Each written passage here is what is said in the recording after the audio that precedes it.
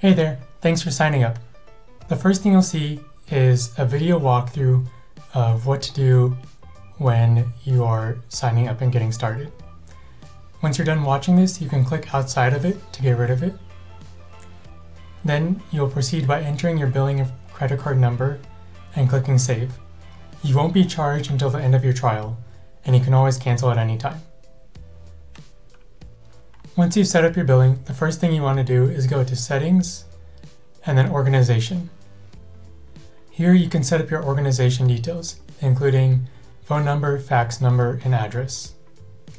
These fields are required if you want to enable e-prescribing from our platform.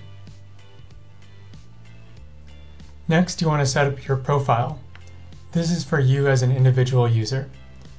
You can edit your name, and change your roles here. If you are a prescriber or a practitioner, you'll need to add those roles in order to be able to do those functions. You'll also need to add a practitioner or physician role in order to have a calendar. Additionally, if you want to prescribe medications, we'll need an NPI number and a date of birth. Once those are done, you'll be able to go to the calendar and start making appointments and go to your patient list and start adding new patients. So hope this was helpful and let us know if you have any questions. Thanks.